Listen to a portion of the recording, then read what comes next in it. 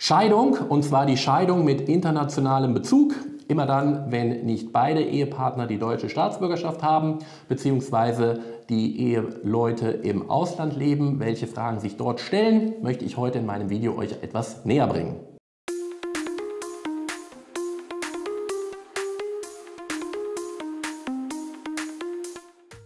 Hallo, mein Name ist Oliver Abel, ich bin Rechtsanwalt in der Kanzlei KGK und ich bearbeite hier das familienrechtliche Dezernat. Mein Thema heute soll sein die Scheidung und zwar den Fokus auf die internationale Scheidung, den internationalen Bezug. Immer dann, wenn die Eheleute entweder mindestens einer der Eheleute nicht die deutsche Staatsbürgerschaft haben oder die Eheleute auch mit deutscher Staatsbürgerschaft im Ausland leben. Was es da zu beachten gibt, ein paar Auszüge heute. Zunächst einmal stellt sich natürlich dann die Frage, ähm, für Scheidungen, die diesen internationalen Bezug aufweisen, ähm, wo die Staatsangehörigkeit der Eheleute mitunter nicht die gleiche ist, nicht die deutsche Staatsangehörigkeit ist, wo kann ich mich denn hier überhaupt scheiden lassen? Und ähm, grundsätzlich gilt, dass diesbezüglich halt das Gericht zuständig ist, wo der gemeinsame, der letzte gemeinsame Wohnsitz der Eheleute war. Ähm, wenn es dort nur im Ausland den letzten gemeinsamen Wohnsitz gibt, gibt es zusätzlich dafür, ähm, wenn beide Eheleute zur Zeit der Scheidung im Ausland leben, auch noch die Möglichkeit, einen Scheidungsantrag für Deutsche im in Deutschland zu stellen. Und dieses Gericht ist ein zentrales Amtsgericht, Familiengericht, und zwar das Familiengericht in Berlin-Schöneberg, wo der Antrag dann zu stellen ist.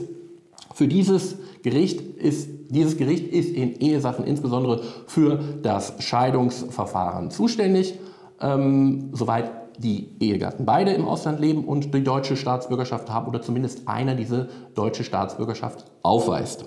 Sofern gemeinsame Kinder vorhanden sind, insbesondere minderjährige Kinder, muss grundsätzlich das Gericht dann auch angerufen werden in Deutschland, in dessen Bezirk der Partner mit den Kindern seinen gewöhnlichen Aufenthalt hat. Ähm, ganz normal, diese Scheidungsanträge können in Deutschland nur, wie immer, ähm, durch einen Rechtsanwalt eingelegt werden. Also das könnt ihr nicht selber machen, da besteht die Anwaltspflicht.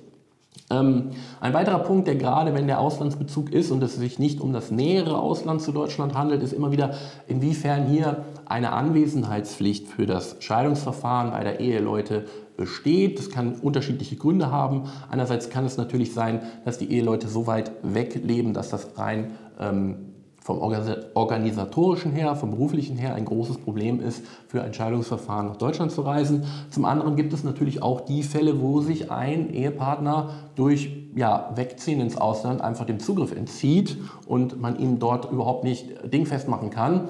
Ähm, und um da natürlich nicht demjenigen, der sich entziehen möchte und untertaucht, den Hebel an die Hand zu geben, das Scheidungsverfahren auszuhöhlen, also als unmöglich zu gestalten, muss es da natürlich auch Möglichkeiten geben. Also es gibt eine sehr äh, äh, einen sehr starken Grundsatz, dass erstmal natürlich die Eheleute im Scheidungstermin vor dem Gericht erscheinen sollen. Nur wenn es sehr, sehr gewichtige Gründe dafür gibt, davon eine Ausnahme zuzulassen, wird das Familiengericht das auch tun.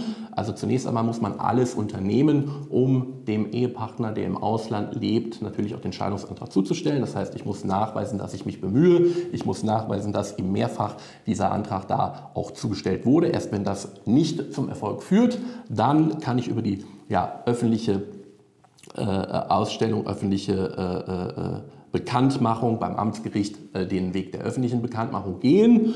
Ähm, und tatsächlich ist es dann so, dass im Extremfall auch die Scheidung unter Abwesenheit eines Ehepartners durchgeführt würde. Weiterhin ähm, besteht natürlich auch für die Eheleute die Möglichkeit, sich im Ausland scheiden zu lassen. Und da ist dann natürlich auch die Annexfrage direkt, was ist denn mit einem Scheidungsbeschluss, Scheidungsurteil im Ausland? Ähm, wie wird das denn überhaupt umgesetzt, wenn ich dann wieder in Deutschland lebe? Und tatsächlich muss dieses ähm, Scheidungsurteil dann in Deutschland auch anerkannt werden. Ne?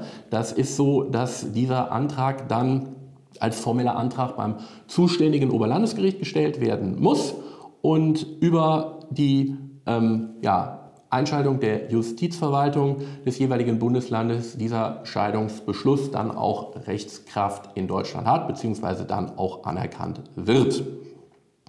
Ähm, was Im Einzelfall natürlich ähm, zu beachten ist, richtet sich natürlich nach den auch europäischen Vorschriften und da ist natürlich auch sehr maßgeblich, welche Nationalitäten konkret betroffen sind. Das würde jetzt hier den Umfang bei weitem sprengen und ihr habt Interesse an eurem konkreten Fall.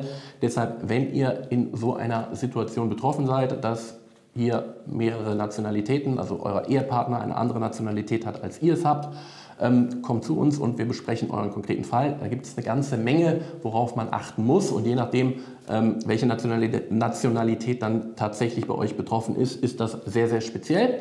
Wenn ihr wollt, nutzt unser Kontaktformular. Wir antworten euch selbstverständlich auf jede Anfrage. Wenn ihr wollt, macht einen Gesprächstermin mit uns und wir besprechen die Sache hier in einem persönlichen Gespräch. Vielen Dank für euer Interesse.